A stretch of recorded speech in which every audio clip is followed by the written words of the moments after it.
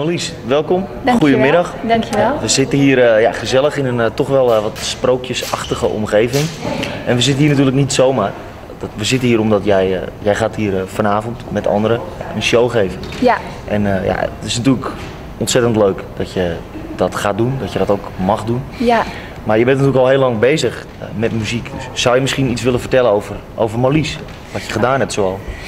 Nou ja, ik ben begonnen met zingen in het kerkkoor, maar dat eh, is wel heel lang geleden. Nee, ik heb eh, in 2004 meegedaan aan Idols. Mhm. En eh hele, hele het ben ik vierde geworden, als Ja. Idols 2. En ehm, daarna heel veel opgetreden door het hele land, ook in het buitenland. Maar op een gegeven moment werd dat wat minder. Natuurlijk ben ik weer gaan studeren. Ja? En, maar eigenlijk nooit, nooit gestopt met de muziek. Nooit echt gestopt. Dus eh band begonnen samen met Robbie Valentine, Ja. En eh, samen ook nog een album opgenomen.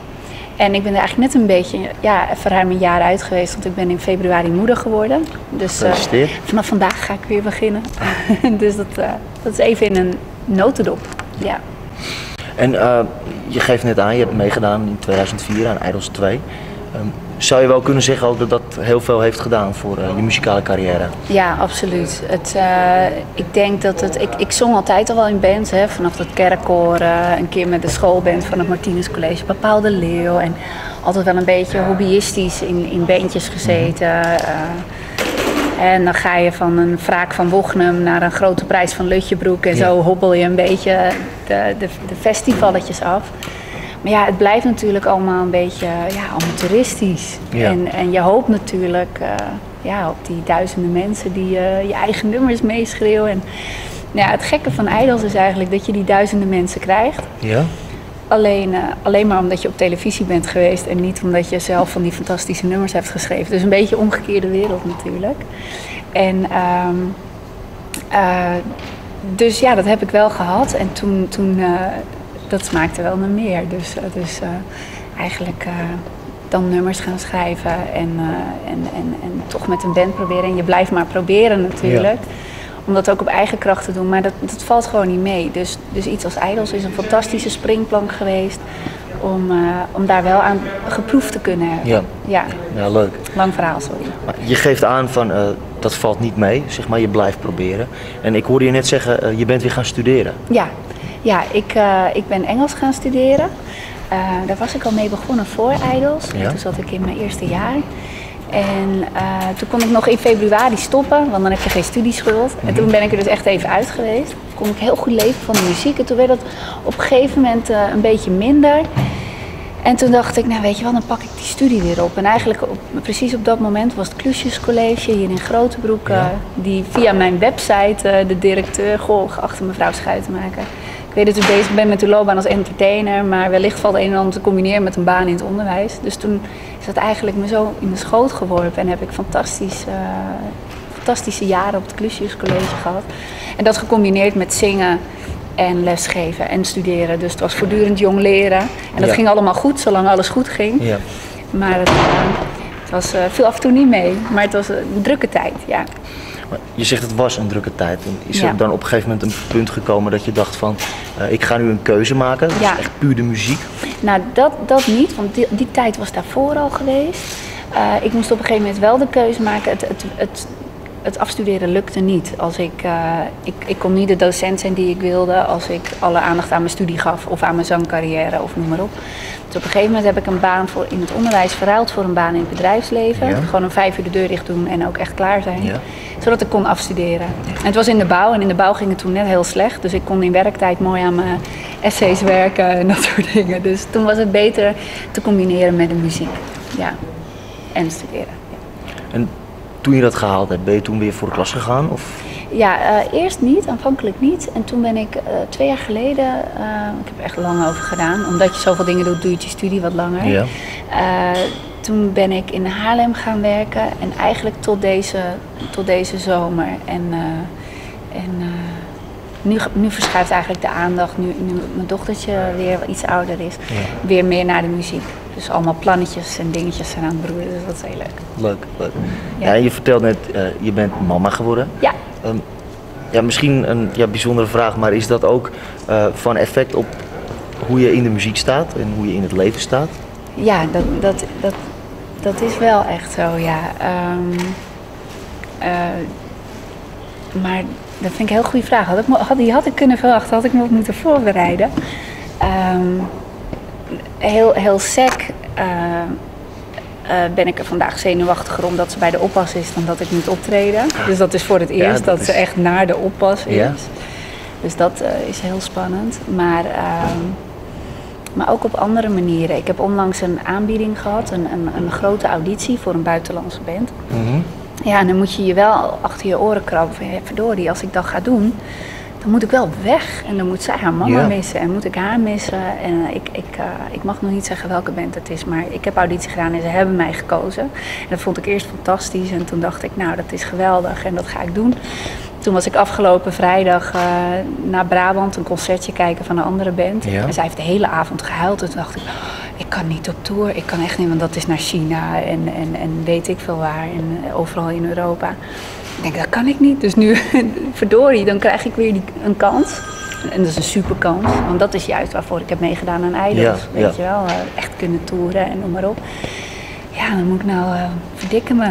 Dus maar tegen de tijd dat die tour gaat beginnen is het zomer 2013. Dus ik hoop nu af en toe proberen, dan vertrouwen krijgen in een oppas en in dat het ook goed gaat als ik er niet ben. En uh, hoop ik het toch te kunnen doen.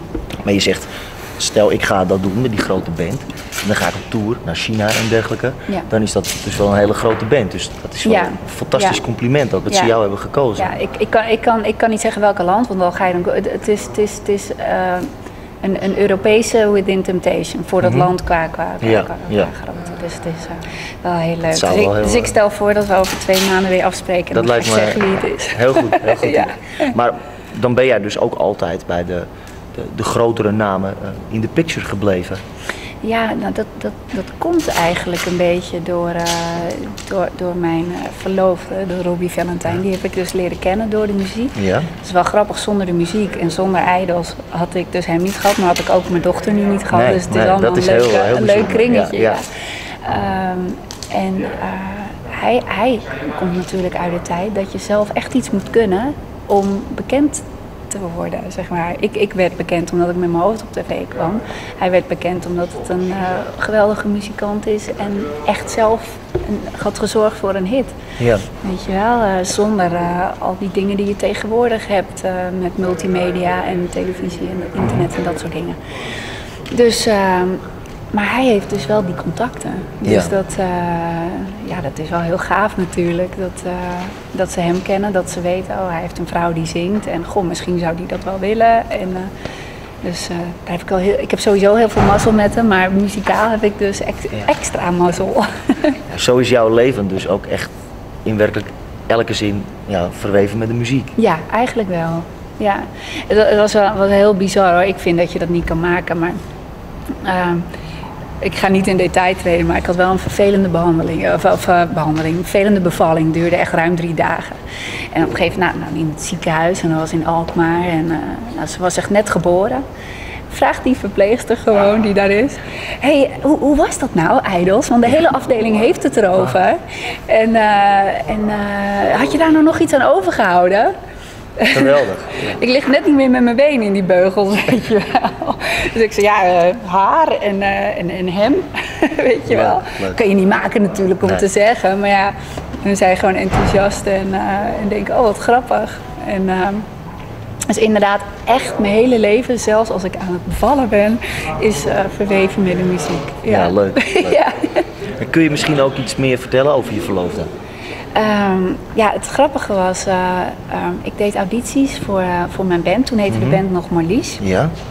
En uh, daar kwam een drummer op af en die zei: Joh, Marlies, ik, ik vind jou een goede zangeres. Ja.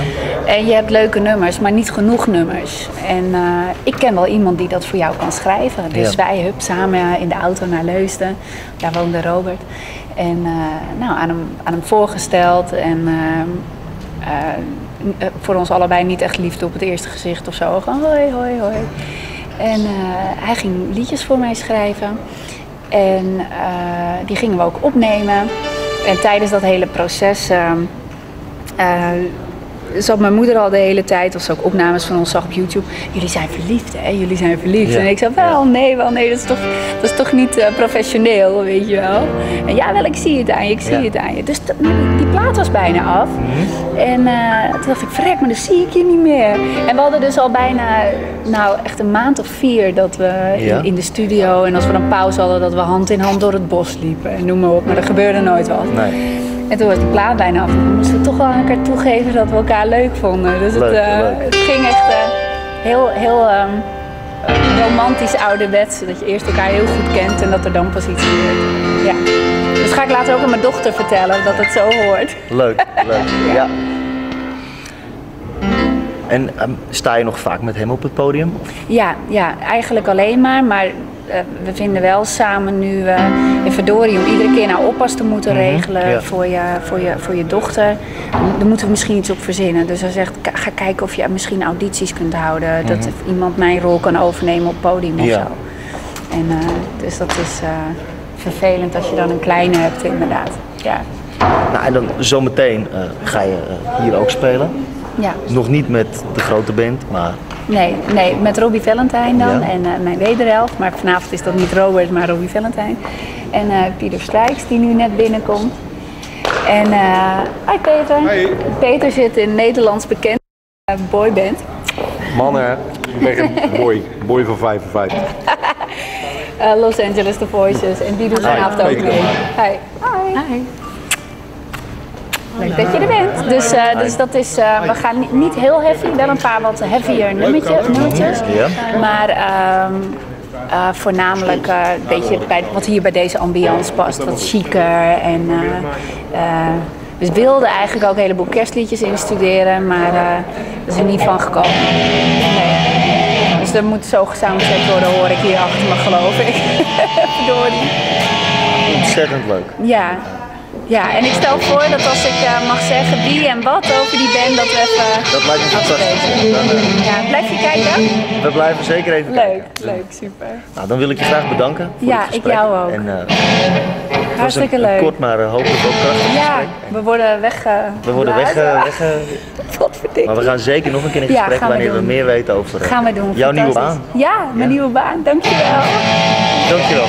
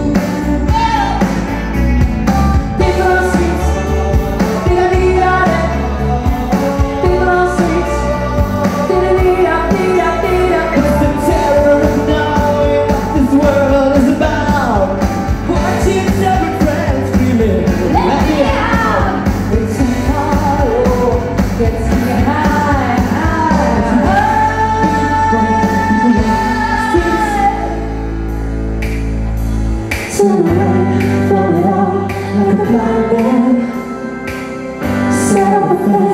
but it don't work. Keep coming up with life, but it's a flash and.